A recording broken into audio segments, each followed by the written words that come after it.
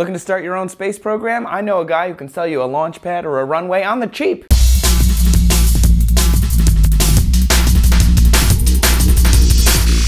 Hey, it's Trace for DNews, and what do you think the government does with old buildings when it's done with them? You think it just lets them sit there and rot or wait for some zombie horde to come move in?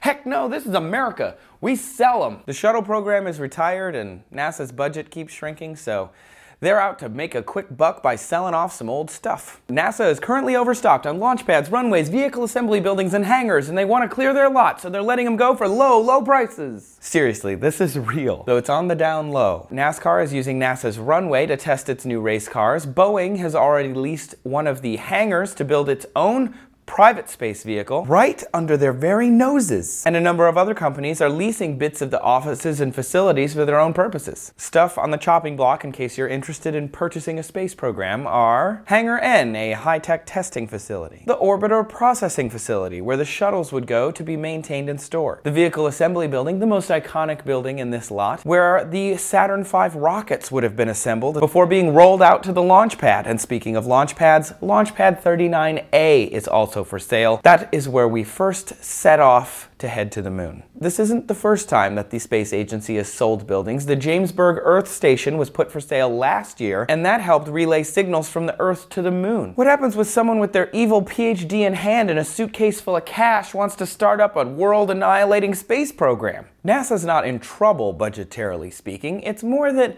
these old structures are not going to be used by the organization anymore. So rather than let the ocean air corrode them to crap, They'll sell them to people that could actually use them. If the US government wants to create a private, thriving space race, why not give these companies a leg up with this gently used uh, space equipment. If you had the cash, what NASA asset would you buy? Would you turn the vehicle assembly building into an awesome dance club or maybe do bungee jumps off the top of the launch pad that we used to use to go to the moon? Let me know in the comments and subscribe to DNews for our thrice daily updates. It's some great content, you wouldn't want to miss it. Thanks for watching everybody. I am going to go check out the sales.